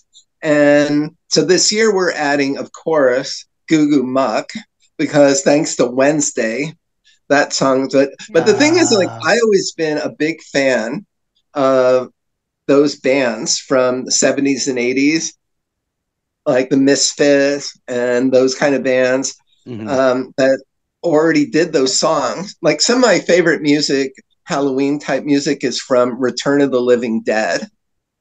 If you remember that movie, Mm-hmm. I love the original Living Dead movies. right? Uh, like Do the Dead. In fact, the same group that does that does Goo Goo Muck. Hmm. So, um, so we're gonna add that to the set, and um, we dress all up in cool Halloween kind of weird costume. I was thinking of going as bitchy and performing as bitchy. perfect. but um, I, I'm still deciding that because No, it's, bitchy. it's advertisement. Yes, but bitchy only sings as bitchy. If like suddenly I'm singing Monster Mash, it's like Bobby Boris Pickett, they'd be like, "Hey, wait, that's not bitchy. That's a guy dressed as." no, um, but we'll have some cool stuff that we'll dress as, and so those are some of the other things. That's I feel cool. like Chris, it's nonstop. I've got so many things going on. yeah. Chris, is that near you? Five Well- hours away. I just looked it up. Three hundred. Oh, that's not far. You're closer. So if you could go check that out. That's So, not that. 300 miles in, in LA, 300 miles is a two day trip. we'll we'll put it on the company card. There we go. Uh, Dave, in Orlando, uh, a trip to Orlando is a is a is a one day trip. I mean, it, Orlando's forty five minutes away from Orlando. It's, it's insane. Oh, yes, I, I know. Especially I've never heard say because that before. I didn't know that. oh, oh, you'll like this being being from Florida. When I was at the University of Florida, and you know where that is, right? In Gainesville. Yeah, my wife Mhm. went there. We don't talk about that. Go Noles. Ah. well, I, I was the mascot for one half season. I was the gator What? my gosh. Oh. back in the 70s. So we used to try to eat the Indian. Oh wow. So, um, well, one, one of my weird jobs, and it was right outside of Orlando, is I was a projectionist at a porno theater down the street from where Pee Wee Herman was. Oh my god. what? Yeah. That was one of my weird jobs. And it was literally within striking distance of the one that he was at that he got caught in. Oh my god. Wow. Scott, you had a And, uh, similar uh, thing happen to you, didn't you? Stop it. Stop it. Oh, you got caught there too? No, no, no, no, no, no, no. it was a different theater. It was a different theater. Stop. Dave, how can how can our listeners follow you? How can they find you? Uh social links, all that good Well, stuff. I'm easy to Social stalk. Security. Uh, I, you know, I don't mind stalkers. Okay. Um, uh, well, there's the website, and you could put that up. Uh, it was snuggybear.com, but I'm switching over. So I'm with Wix, but I think I might have sent you a link to it, and then you could share that. Um, there's Facebook. I haven't gotten thrown off that yet. So they can find me on they have Facebook. And it's easy to find my profile. It's the one where everybody from Animal House is flipping off the camera. So um, there's that, and I usually post things of where I'm appearing and and updates, and there's links to everything there, Awesome. so they can do that. Um, otherwise, they can follow Bitchy the Clown on Twitter, as long as he's not thrown off. And then there's Bitching with Bitchy is the podcast, and you know, as far as for social media, I I really am not that particular about wanting too many all those likes Sure. right now because I, I see everybody with likes here, likes that, and they feel like their life sucks if they don't get views or likes. Oh, Mhm. look, today my like it's so sad. and I know it's probably cynical, but I'm older, so I could be. It's so great. You reach that certain age and you're allowed to be cynical. So I'm at that wrong. age, but um, I was cynical even before that. But you know, like they, they post pictures of their food and go, look where I am today. I got if my ex does this, she'll post while she's there live, she'll post what restaurant she's in Oh. and go, you know, hey murderers, there you know, Tammy's over at this restaurant, go get her. she's really into health food. That'll lure her out. show her, you know, show her a, a tuna wrap. She'll be yours. so, um, uh, so I, I, you know, they can find me on there, and as I said, most of it is just the working on things. The books they could find. Bag Boy and Sweet Slob on Amazon. Brain Explosion is on Amazon and at Barnes and Noble. Uh, so they can find that. The new ones, as I said, will be coming out. And, you know, I leave it to my publicist and my agent to do all of that promotion. You know, for I have an appearance agent. So when they do that, because, you know, half the time, and you know, with algorithms and things like that, only about one twentieth of your followers or fan base, unless you keep circulating and refreshing, they don't know. They don't see you. It's You it's know, I get crazy. the, I get yeah. the same things over and over again. It's so difficult with social media. So difficult. You know, unless unless you already and the thing is, it's like people still don't realize unless you've already made a name for yourself in mainstream. You know, like um, any any of these singers or the actors are already famous from movies like that, like Taylor Swift and her Swifties, and even Jennette. I mean, Jennette got famous from iCarly, and, I recommend her book. It's an amazing book about an amazing person. Mhm. And I actually uh, just reached out to her about because she wants to direct. So I just reached out to her manager about directing one of my films, and I think she would be an amazing director Oh, that's cool. but she's given up social media. She doesn't care. So unless it's that, it's just you know an ego trip for a lot of people, and it's Yeah. not bringing me any money. That's for sure. Right, right.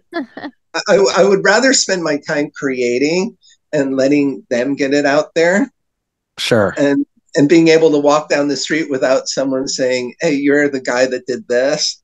You know, uh, I would rather just be the creator and get it out there, and you know, do things like this, like these podcasts, which which are amazing. You because I think that's like the new media is the podcasters, hmm and I know even for podcasting, breaking through um, is difficult because how many you know entertainment podcasts are there out there how many things of people just going and doing different things because anybody could set up a podcast Anybody, anybody can do it. There's 4.2 million podcasts out there. Now there's only like 1.25 active, but Yeah, there's Scott's counted. uh, Hey, but, but but I like I like doing podcasts like yours because one they're fun you guys are smart and funny and you you you ask good questions there's a lot of ones that I've done where oh my gosh it's like a a plate could do a better podcast and, often, and, and they often do so, uh, well, So thank you. I- I, I- I appre- that means a lot. Uh, I appreciate the, the the compliment. It means a lot coming from you, and uh, of course, I Oh, love it- to hear my that. pleasure, and and definitely. um, so, and and I think because I think bitchy's taken off because there are a lot of people that are too scared to say things, so they hide behind it, and then when they see someone like bitchy who says things they wish they can say, I think maybe that's what's resonating with people. Mhm. Absolutely. And and bitchy doesn't care if he burns bridges. You know, it's like he lives in a trash can and he's happy about it. So uh, he can go wherever he wants. He he hangs out behind restaurants and gets you know like scraps. And so and he's fine. He, uh, he's thinking, and, and as he said, he's so happy he got on IMDb. Right. That That is that, neat. oh my That God, is he- he's on the same the wet same website with like Bozo, like Bozo the clown. and some Uh-huh. Bitchy is a mainstream clown. I love it. So uh, we're hoping to still. I want to do that TV show because I think that would be hilarious. That yeah. Uh, well, Dave, thank you so much for spending the evening with us. Uh, whenever you've got projects coming up, you want to come back on, just hit us up. We'd love to have you. I I appreciate that. You guys have been awesome, and stay in touch. You have my info, and as I said, um, the the other website will be back up soon, but the other ones they could find just by what I said, and you could share the link with it. Awesome. Will do. Dave Shelton, thank you so much. You're listening to the No New Friends podcast. We'll be right back.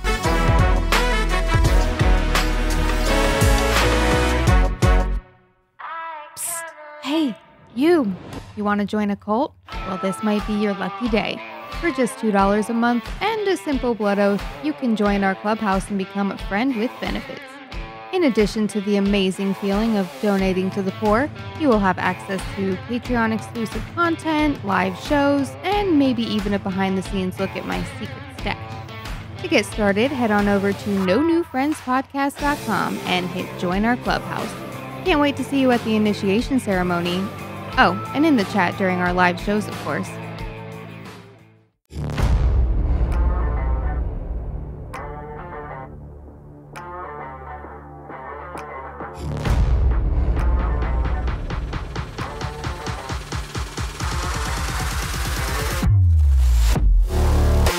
Thank you for uh, coming back after those amazing commercials. Um, I know Chris always talks about how amazing those commercials are, especially that Sandpiper Vacations commercial. I know it was super stellar.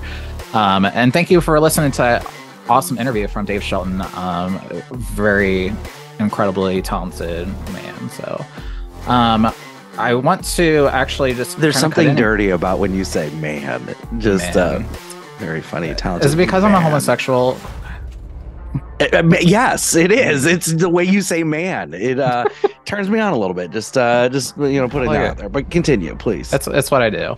Um, so we we were chatting on our break, and um, we had such fun, amazing chat that we didn't want to stop talking. So we recorded it, and um, so we're actually just going to cut right into that conversation. So it might sound a little bit choppy here, but enjoy it. Warner Brothers. They market the ones that are garbage. Warner Brothers is one of the best studios ever, and they just don't do a good job. I'd say Disney probably is, but maybe I'm. The worst. Uh, Disney's up there. Disney is a very weak studio because they just go in sine waves. And like when they're good, they're great. When they're bad, they're awful. But right now they're in the whole nostalgia thing, trying to draw people out. With Mm, yeah, no. Drives Disney. Dane and I talked nuts. about this. Um, I think last week, and w- we discussed how Disney's just they're going into another rut, like they were in Yeah, the they will. early Yeah. two thousands or the seventies and eighties. Like they're in trouble. The Yeah, f- they need another 40s. Encanto or something like that to pull them back out of it. No, they'd be more of a Little Mermaid or in. Well, um, to me, Encanto was better than Prince and Little the Frog. Mermaid, but Oh God, Encanto no. is Little just Mermaid's a the best Disney movie. no way, no way, dude, no way. Little Mermaid is the best animated Wow. Disney movie by far. Better start recording. thought There's I gonna be a gay fight. one. We need to do it some. We need to do some kind of Disney debate between the two of us because it would make fantastic content. You and I, like- would fight. Oh my god, I'll It'd be so something. good. It would be so good. I like when Daddy and Papa fight. I texted Chris and I said, "Miss you, Who? Chris." Who's that? Chris Yaw. Ooh. I said, "I Is that miss the guy you." the broken dick? hmm And he said, He's "Miss you gone so I more." forgot him. And uh, I said, I'm starting after dark. Well, during dark. And he goes, I'm at a blur- bur- burlesque show. Wish I had a vasectomy so I could jerk off. Ew. oh God. You can do that God. anywhere. Yeah, because if you have a vasectomy, there's no cleanup out. You can do that anywhere.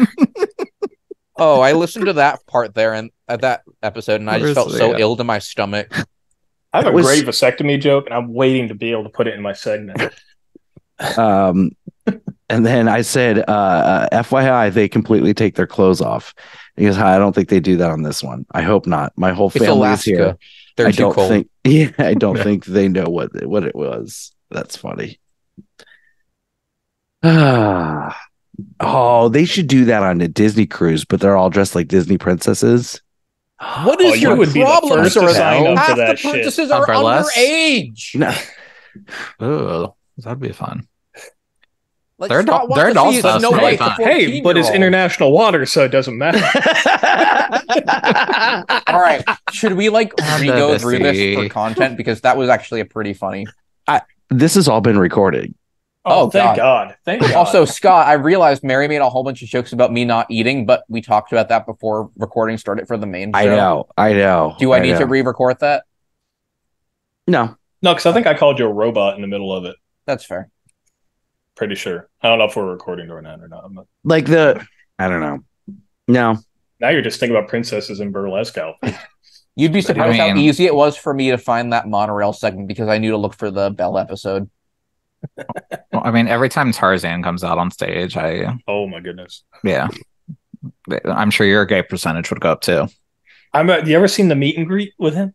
Oh, the meat? and greet? No, they have the a meet and greet where he's wearing a unitard? No, no, no meat seriously with an A.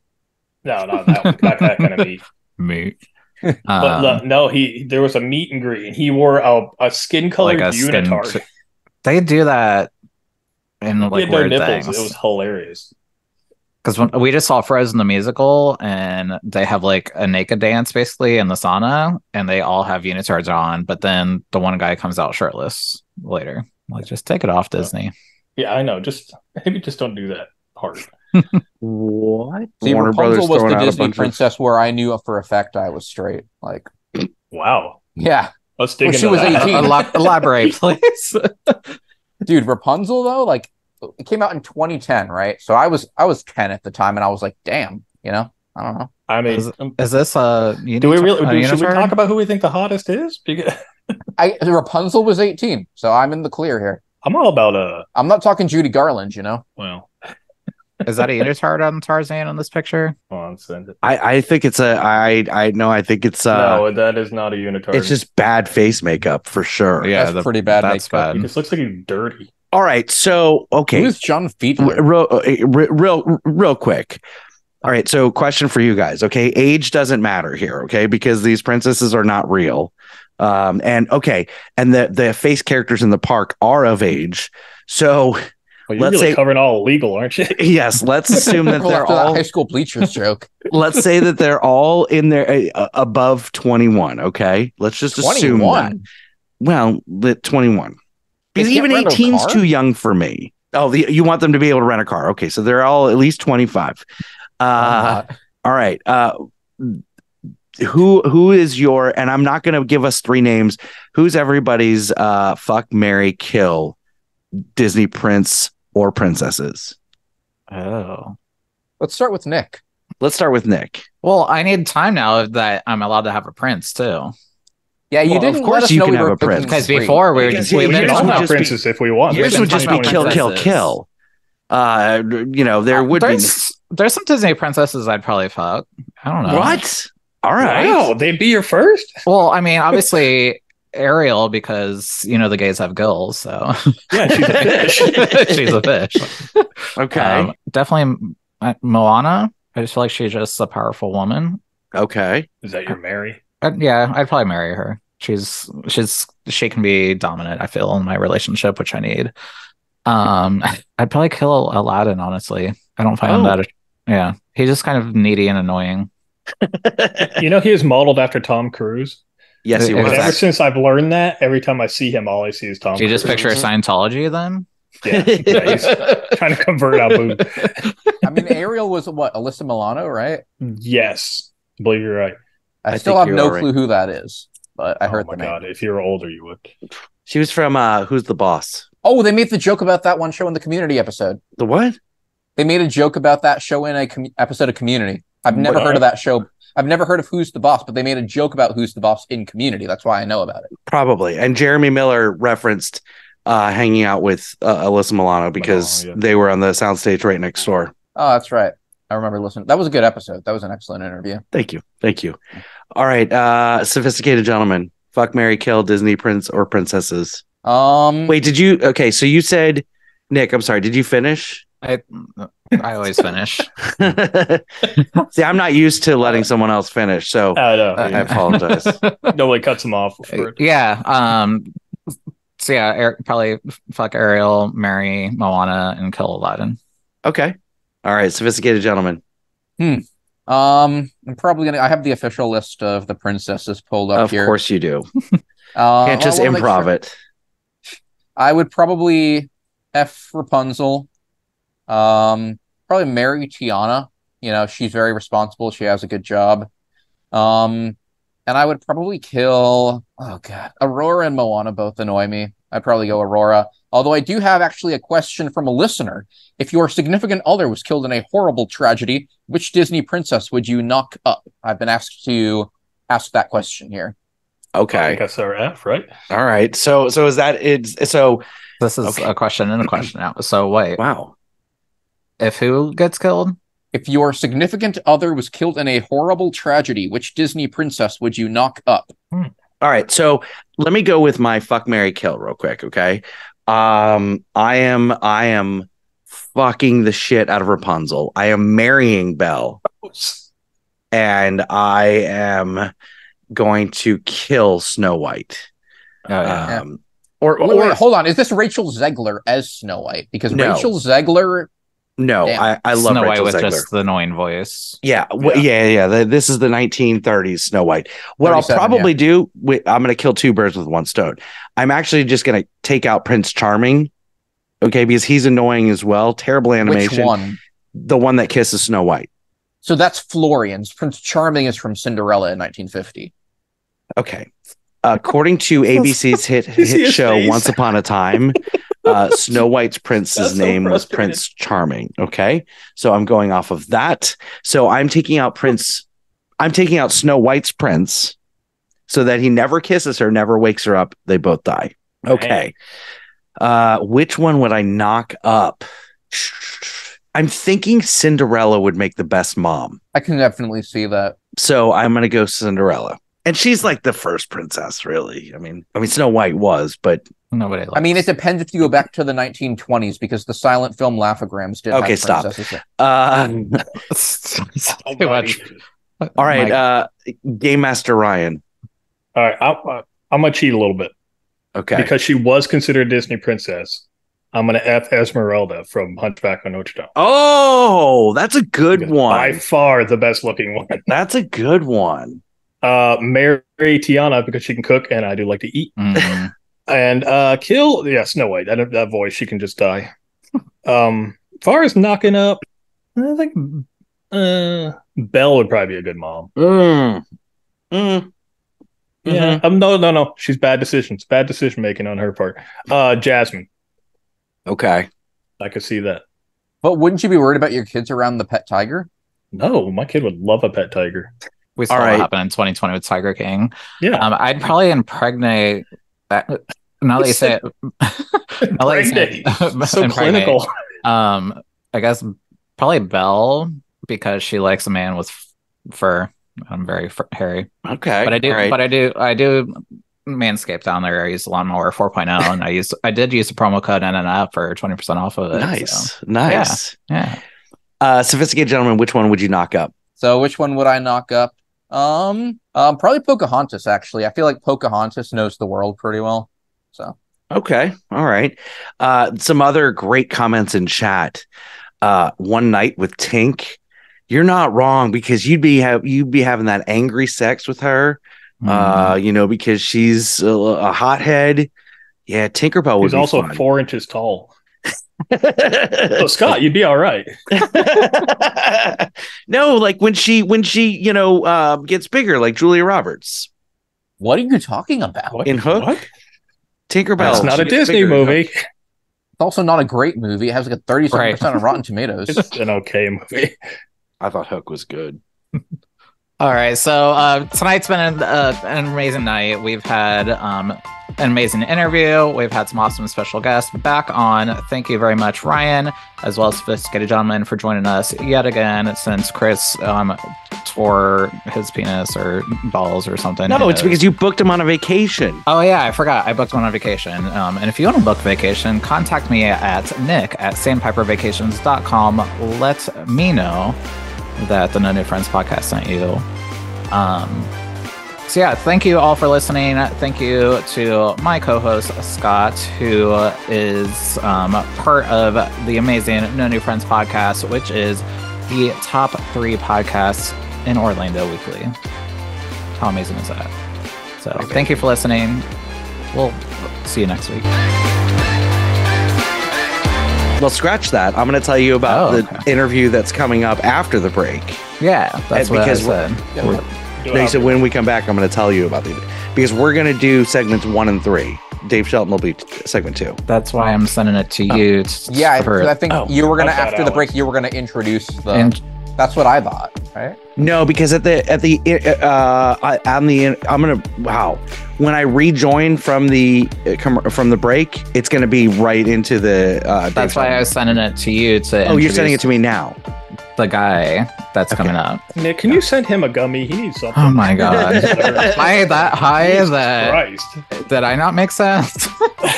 But you did what he told you to do, and then he didn't know what you did. I'm trying to be a good host. My, I you know thought you're you doing drink in podcasts, Scott. you're doing great. I'm not drinking tonight. You're doing Maybe a you great should. job. Maybe I should. Oh, exactly. Oh yeah, that's the issue. Yes. Okay. Why don't you try that again? I'll just edit that out. I'll just I'll just listen. All right, top notch stuff.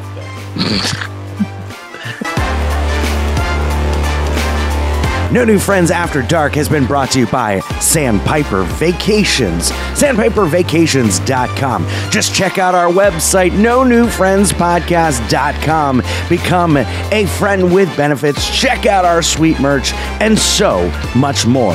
This has been a No New Friends Entertainment LLC production.